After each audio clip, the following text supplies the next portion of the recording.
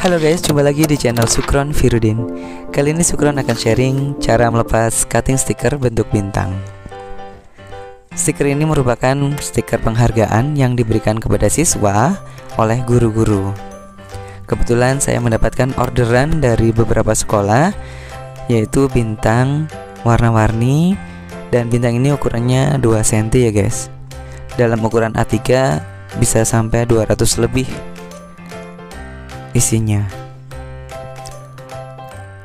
Untuk mempermudah guru, maka saya melepas bagian stiker putihnya. Harus dua orang ya guys, biar lebih mudah melepasnya. Seperti ini.